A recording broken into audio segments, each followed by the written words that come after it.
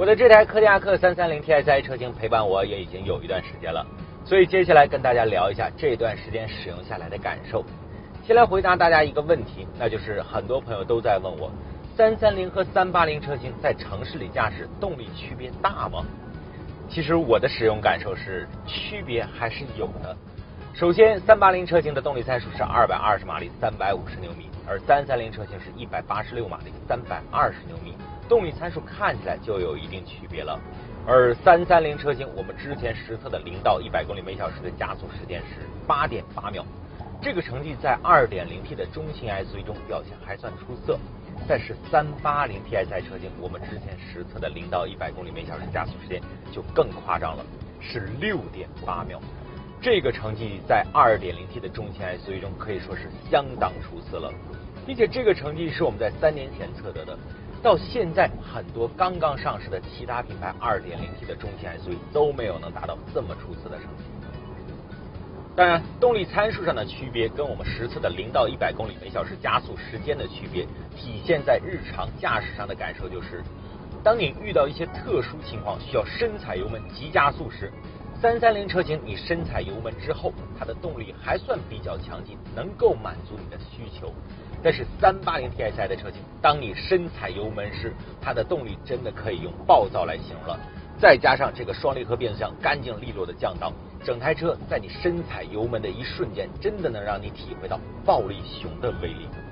如果不是深踩油门的情况下，其实两台车在城市里驾驶，无论是红绿灯起步还是中途超车，两台车的动力表现是非常相似的，都是比较轻快的感觉。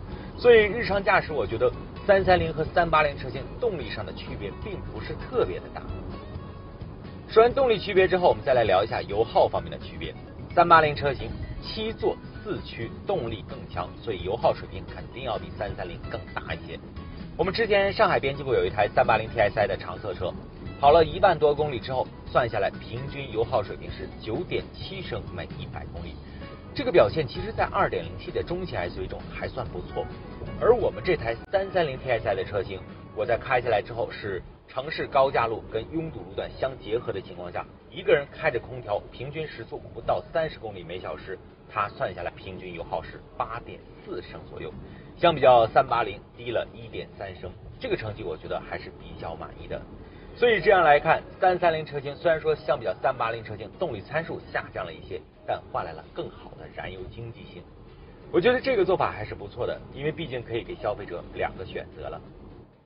驾驶感受方面，其实三三零跟三八零车型开起来之后就真的没有什么太大的区别了，非常的相似。而更多关于这台柯迪亚克三三零 TSI 的用车感受。我会在使用一个月之后，也就是下一次更新时，跟大家详细分析一下。那接下来我准备去干嘛呢？其实我准备带这台大熊去做一个美容。我的用车习惯是，车拿到手之后，多多少少都会改动一下。我的原则是，衣服可以跟别人撞衫，但是车不能跟别人一样。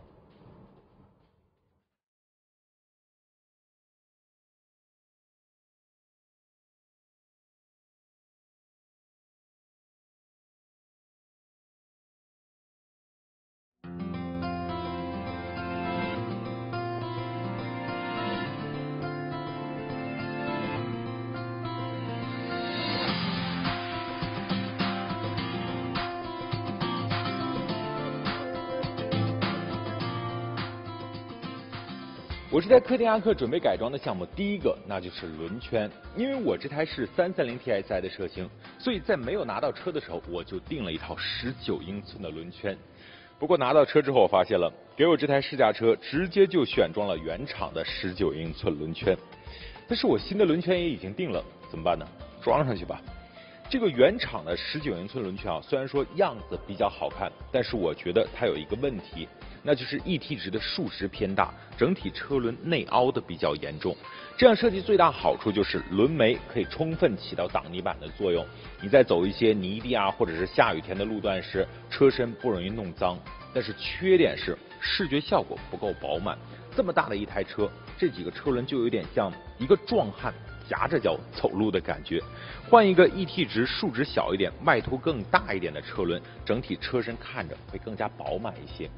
而轮圈换完之后，那刹车我肯定也会换一下，因为换一套十九英寸偏竞技的轮圈，它刹车漏的是比较多的。原厂刹车放在里面看着就不够饱满了，放一套四活塞的刹车卡钳进去，看着会更加好看一些。而另外还有一个地方呢，就是这台车我原本打算做一个全车改色贴膜，但后来我想了一下，这个改装其实并不是特别的实用，所以我把这个项目改成了装一套拓乐的行李架和自行车架，这样会更加实用一些，也更加符合一个 SUV 的定位。好了，开工。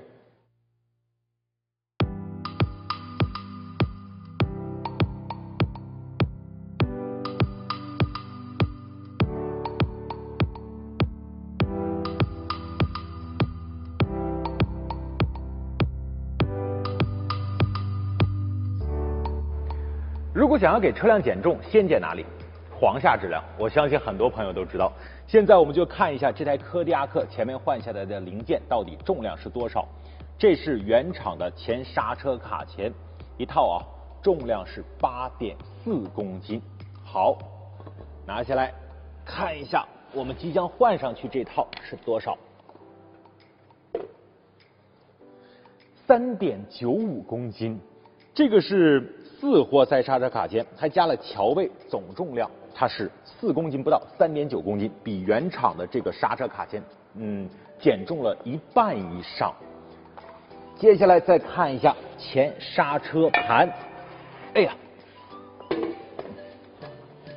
原厂刹车盘九点五公斤，换上这套改装的七公斤，所以这一套刹车我们就已经减重很多了。再来看一下轮圈，先放原厂的看一下啊，原厂是十三点七公斤，十九英寸柯迪亚克原厂的轮圈。再来放一下我们改装的这套，拿着就已经很轻了，十点零五公斤。虽然说同样是十九英寸的尺寸，但是改装的这套明显要比原厂这套轻了非常多。这样算一下，我一套轮圈和刹车改完之后，我的簧下质量总共会降低很多。具体是多少？一会儿我再算一下，再跟大家讲啊。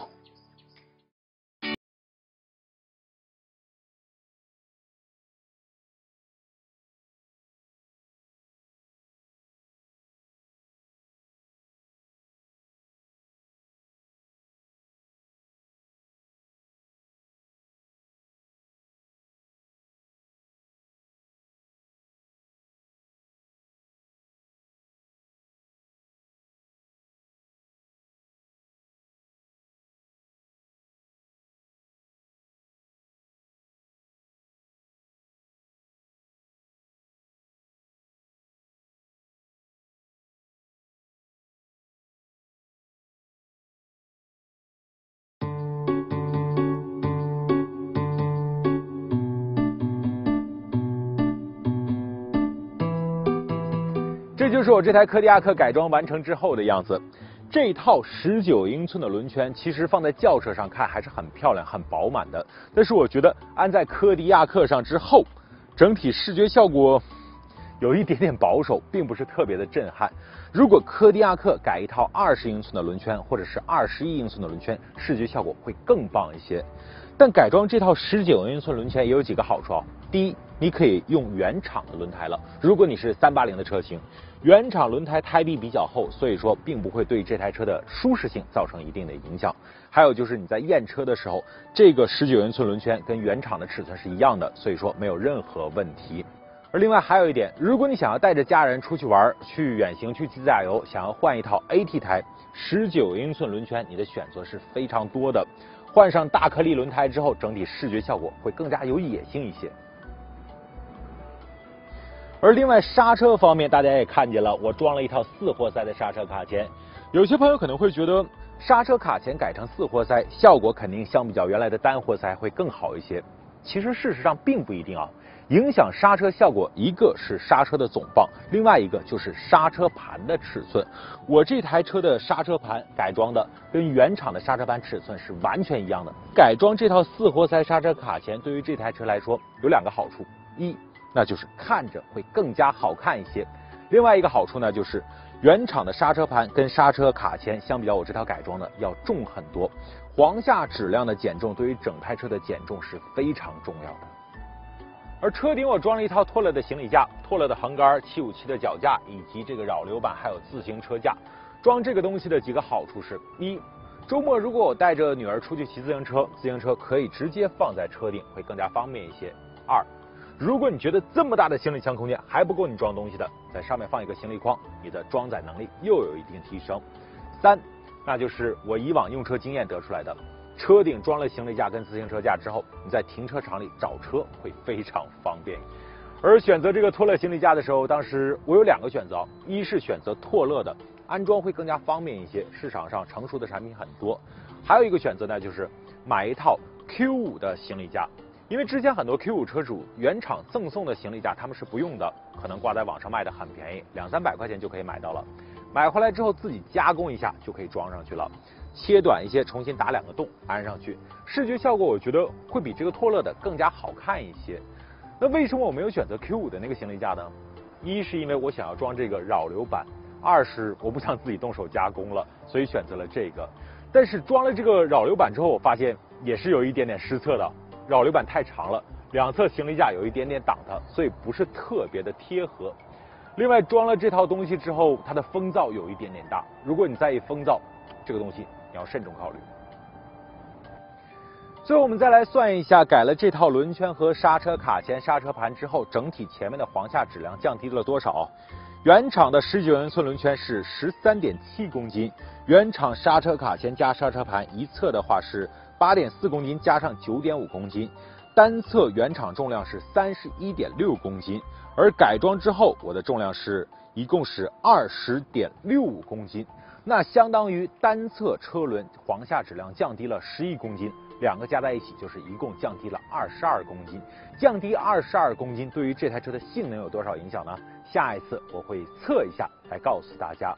而关于这台柯迪亚克更多使用情况，包括使用感受，我会在下次更新中跟大家详细聊一下。好，拜拜。